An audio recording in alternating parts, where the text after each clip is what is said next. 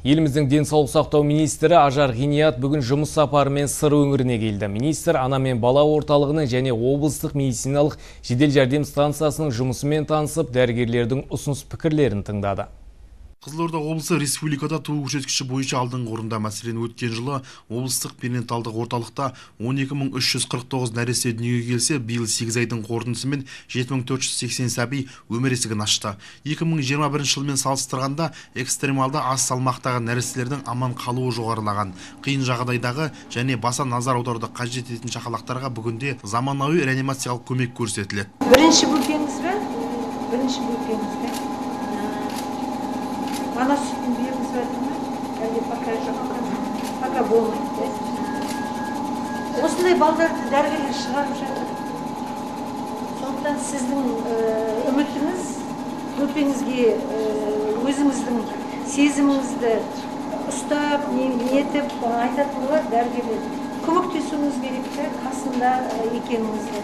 Сосын дәрігерлер осындай балдарды шығарып жатыр жақсы болып кетіп жатыр бәрі жақсы болады. Оған сену керек та егер сіз нетсеңіз ол балаға да беріледі көңіліңіз. Бәрі жақсы болады.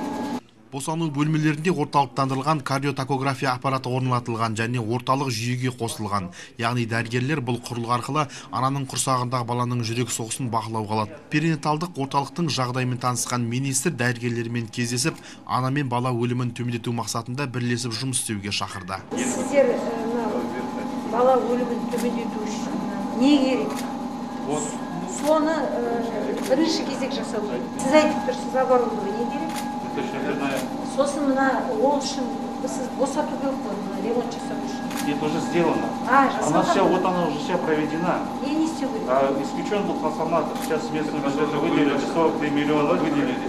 Сейчас мы его подключим. Второй момент уже подключение наверху этих фильтров. фильтров. Нужно необходимо уже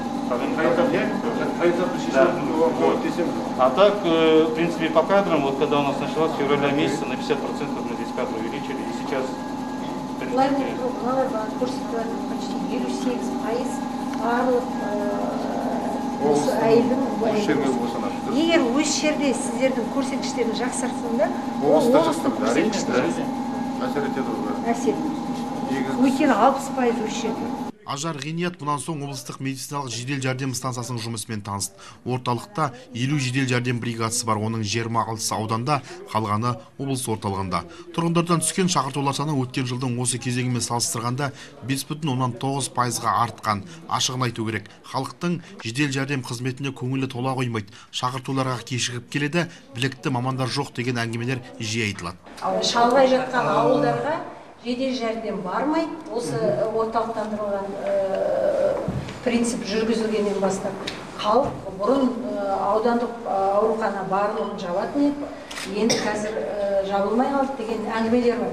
Соны қалай шешіп жатырсыздар сіздерде енді ауылдар көп қой мысалы. Елді мекендер көп. Олар елді мекендер белсенділігі артуда қазір. Оларды шақырады. Дегенмен біз енді жиырма бес шақырымға дейін біз жиырма бес шақырым жоқ ана мен балаға байланысты болатын болса денсаулығына біз елу шақырымға дейін одан да артық жіберіп жатқан жағдайымыз бар енді шын мәнінде жиырма бес шақырымның өзі жиырма минуттың жолы болатын болса жақсы жол болатын болса. Біз қандай жедел жәрдем болады сол кезде. Сондықтан бұл жер бұл шешім әлде де алда шешілетін жаңағы деген ойдамыз. Себебі екі жүз жиырма бесінші бұйрығымыз бар. Бұйрықтың ішінде айтылмағанмен негласно жиырма бес шақырымға біз барып жатырмыз шақырып сол бұйрықты мен қайта қарап жатырмын.